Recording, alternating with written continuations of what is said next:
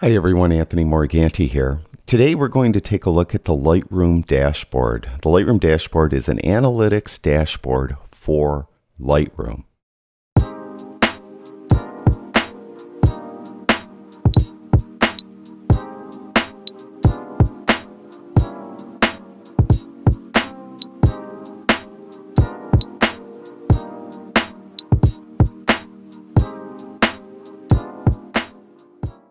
The Lightroom Dashboard is a free website that will analyze your Lightroom catalog and give you an idea of what camera you use the most, what lens you use the most, uh, what lens you use the least, what aperture you most often shoot at, what ISO, what shutter speed, and so on.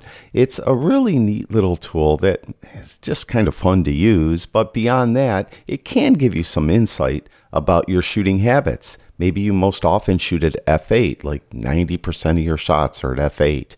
And maybe you could, uh, you know, change it up a little bit and get some different types of looks uh, to your photography. Things like that. Now, as far as its use, I mentioned that it's a free website.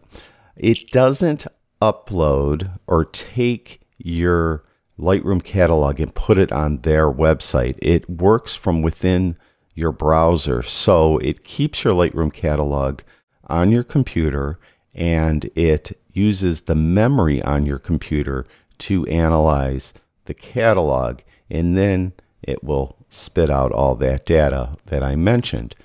Now there is um, you know some limitation here in that if your catalog is bigger than one gigabyte, it probably will run out of browser memory and you'll get a memory error but they do have a large catalog converter tool you can see down here. And if I click on more information, you can see that it explains that if your catalog is too big, it will fill up your browser memory and you'll get that error. Well, you could download this large catalog converter tool for Windows or Mac and then use that to convert your catalog to uh, something smaller that your browser can handle. Once you do that. Now, again, you don't have to do that unless your catalog is bigger than one gigabyte. But what you need to do is take the catalog and put a copy of it in a folder, which I did here. You can see my Lightroom catalog. And this is a copy. I have the original catalog in its Lightroom folder and it's not being touched. Um, also, as you look at it, it's 1.29 gigabytes. So mine is bigger than a gigabyte. So I have this Lightroom dashboard dashboard converter app here to convert my catalog and I'm going to run it right now. So simply to use this, you just put it in the same folder or same directory as your Lightroom catalog and then just run it. And when you do, it will convert your catalog and you'll get this Lightroom dashboard.db file. And it's completed. It's right here. This is the file now that I will use instead of the LRCAT file. So if your catalog is less than one gigabyte, don't do this. Just use your .lrcat file. In my case, I need to use this .db file. And to do it, we're going to click on Analyze Catalog Now. It's saying to drop it here, so we'll bring this a little smaller. I'll take my Lightroom dashboard.db and drop it right there. I'll maximize out here. Now it's analyzing the database. And it doesn't uh, take too long because I did try this before I did the video. And once it does, it will give me two years of data um, by default. And I could change this. And at the bottom, you can see there's a camera summary. My most often used camera over the past two years was my Sony a7R IV. I've used a total of 26 cameras, but that's actually not true. Uh, the database is correct, but I have stock photos in my Lightroom catalog. So, you know, when I do these um, thumbnails for my videos, I often have a stock photo in there, or sometimes for my videos, I'll use a stock photo. So I put stock photos I download from Adobe Stock in my Lightroom catalog. So that is throwing off the, for me at least, the total cameras I use and the total lenses I use because it's incorporating those um, cameras and lenses in the count.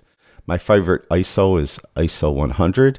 The camera I, or the lens I most often used was the 24 to 70 uh, Sigma f2.8 art lens, and that is for that Sony. Um, my favorite aperture was f8, which I I knew that anyway. Uh, file summary, I have uh, 10,111 files. My favorite file format is RAW, and that's my favorite resolution, 8256 by 5504, and it probably is the resolution of a Sony a7R4. Now, again, this is for the last two years. I could even drill this down further. I could go up to 12 years in my catalog or down to a single year. If I do a single year and click update, um, it takes a second, I found, to do this, but then it will give me my past year. And you'll notice that the A7R IV is not my most used camera anymore. The Nikon Z7 II has been my most used camera over the past year. And again, it's showing a total of 12 cameras, and my favorite ISO 64, of course, the A7 or the Z7 II goes down to ISO 64. My most often used lens for this is the Nikon Z 24 to 7 f at 2.8. So you know I like 24 to 70 lenses.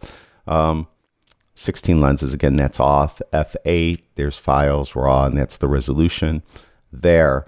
Now you could go further like lenses. I'll click here, and it gives you a total of 16 different lenses. My most favorite used over the past year has been that lens.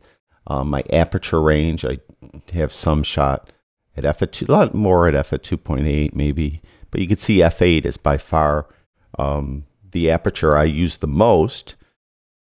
Perhaps if I feel like I'm in a rut and I'm not really, you know, all my images kind of look the same, maybe this could give me some insight. Well, maybe I should try shooting wider and see maybe if that will give me a different look. Something like that. Uh, focal length, um, you know, I'm most often at 24 millimeters, sometimes at 200 millimeters. And you can see I do have a 24 to 200 uh, Z lens as well. So that's why the, these longer focal lengths are in here. So I usually like to shoot tight. So that's why you see uh, these longer focal lengths are often used. And often like to shoot wider. And that's why there's a wider focal length there. So not as much in the middle. Maybe I could uh, shift that up a little bit. Uh, cameras, now again, this isn't going to be uh, totally accurate. Um, this is ISO usage here uh, down at the bottom, and you can see ISO 64 is my most often um, used ISO. There's some at uh, 51,200, is that? Yeah, got my microphone in my way, and so on. So files, you get some, you know, just some info here. Um, pie charts, you could hover over here, uh, but in camera usage, uh, you could see the Z9, which I recently got. I've been using that more often. So if I was to do this 12 months from now, I guarantee the Nikon Z9 would be my number one camera used. Um, that's the A7R4. That's uh, the ZFC, which is mine. That is the iPhone 12, which I use. I never got the iPhone 13. I usually go every two years on my phones. D500, which is mine. Uh, Z6, which is mine. Z6 which is mine, Z7 which is mine. So actually, all of these are my cameras.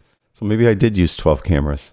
Uh, so, so uh, yeah, I do own a lot of different cameras, um, but I'm um, probably going to be selling uh, the Sony and the uh, Nikon D500 uh, soon. But other than that, um, you get, you know, it, it's just for me, it's kind of just a fun tool to mess around with. But and, and I would bet for most of you, it's probably the same thing. But maybe for some of you, you could get some ideas here of um, how you shoot that you didn't realize you were doing. And maybe it will help you um, break out of a rut or try to do something different or diversify or something like that. So in the description below this video, I'll have a link to the website. It's not sponsored video, by the way. I just stumbled across this website. Somebody's newsletter. I, actually I should give them. I'm going to give them credit in the description below this video. I actually received another photographer's newsletter and they talked about this website.